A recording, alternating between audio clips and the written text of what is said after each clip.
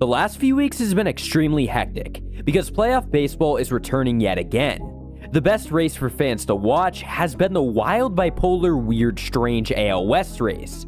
Every which way, the unexpected happens in this race.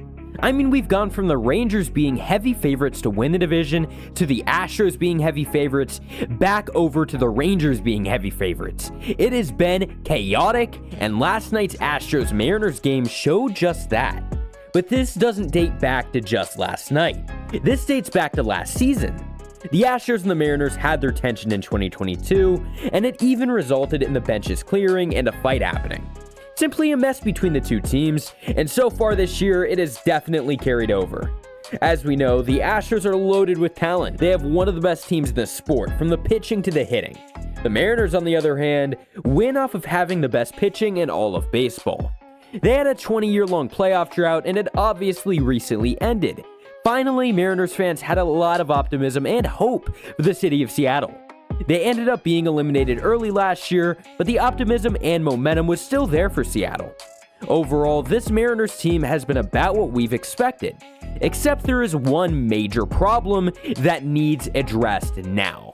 And that problem is the Astros and the Rangers. And unfortunately, for the Mariners, the Astros and Rangers are not slowing down. Both teams are currently ahead of the Mariners, and the Mariners are just flat out choking because the Astros came into this series as the most ice cold team in baseball, yet just managed to win two out of three against the Mariners. Leading up to that series, it was very clear that the Mariners' time to succeed was this. So losing that series could have very well costed the Seattle Mariners a playoff spot in 2023. Considering the very high stakes, it's obviously clear that there were a lot of tensions that felt very high between the two teams. The Astros have one of the best teams in baseball, and they play just like that. The Mariners have one of the better teams in baseball, but they looked lost in this series. And the series before this, they got swept by the Rangers, and then head into this Astros game and completely forget how to pitch with quality. And as frustrating as it was for Seattle, it just kind of was what it was, right? But for the Astros, they took it much differently. In the last game of this series, in the sixth inning, for whatever reason, Hector Neris turned into an absolute clown. After striking out one of the most electric players in baseball, aka Julio Rodriguez, Heart Attack Hector proceeds to start yelling and cussing as he walks over to Julio after striking him out. I mean, you just struck the guy out. Great job. Go celebrate in the dugout. Get a pat in the head. I don't care, bud. Get, go get your candy in the dugout. No. Instead, he just went over to him and started cussing. Absolutely no class by the Astros in this moment, and it ended up leading to J-Rod turning around as Hector was going into his dugout, and J-Rod just started going off. And I mean, to be fair, it's not like J-Rod initiated anything, right? He was just going to go back to his dugout calmly. No, instead, Hector wanted to make it a scene, so J-Rod said, all right, it'll be a scene.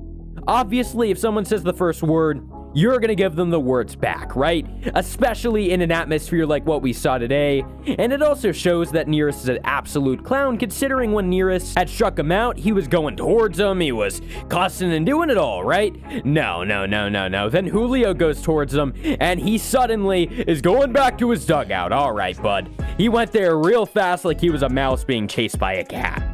After the game, tensions were still pretty high, and in a press conference, Geno Suarez went ahead and said, and I quote, That pissed me off. If you want to enjoy your strikeout, enjoy your strikeout and go to your dugout.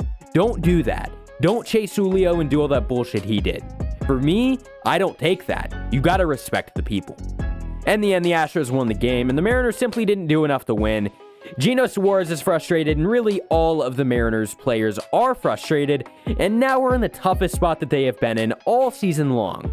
They're one and a half games back from the Astros and two games back from the Blue Jays. The next series is going to be huge for the Mariners.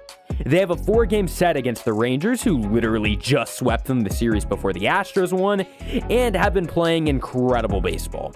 Now, if you want to go ahead and talk about positives for the Mariners, there actually are a few. The biggest positives is that the Astros have a very good Diamondbacks team that they're about to go up against to end the season with for three games. And the other team that they're competing with for a spot, the Blue Jays, are on the verge of being swept by the Yankees. And then after the Yankees, they have three games against the Rays. Realistically, if the Mariners just play good baseball over the next few days, they'll find themselves in the postseason over the Blue Jays or the Astros. If not, their season is over and it was all for nothing and they are done. And I will make a video on what the Mariners need to do this offseason to improve. Anyways, I hope you guys enjoyed. Let me know what you guys thought of this video and peace out.